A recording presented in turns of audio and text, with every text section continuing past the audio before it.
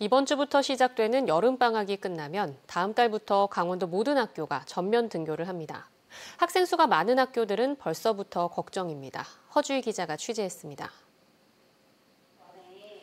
춘천의 한 중학교 1학년 교실입니다. 학생 수는 31명. 한 학급에 30명이 넘는 과밀학급입니다. 이 학교의 경우 내년에도 학급당 학생 수가 30명을 넘을 가능성이 높습니다. 지금 상황에서는 코로나19가 심해지면 대책은 원격 수업밖에 없습니다. 강원도에서 이런 과밀 학교는 21곳, 136개 학급으로 춘천과 원주, 강릉에 몰려 있습니다. 한 반에 학생 수가 많다 보니 거리 두기도 수월치 않습니다. 이러다 또 원격 수업으로 전환되는 건 아닌지 교사들은 걱정입니다. 어, 인원수가 뭐 25명 이내로만 들어 줄어든다고 해도 아이들이 더 깊이 자세히 또 들여다볼 수 있고 아이들하고 또 뭐 거리두기 또 될 수 있을 것 같고요.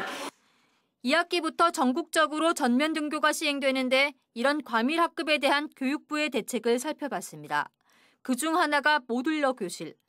대형 레고 블록처럼 쌓고 조립해서 만든 이동 가능한 임시 교실입니다.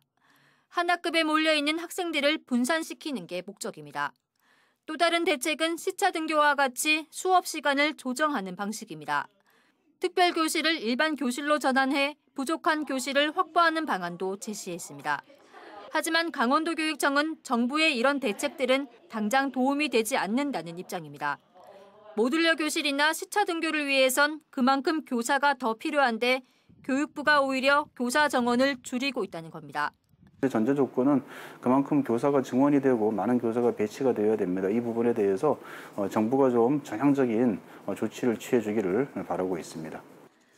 강원도 교육청은 과밀학급의 학생 수를 내년에 29명 이하로 줄이는 방안을 검토하고 있습니다.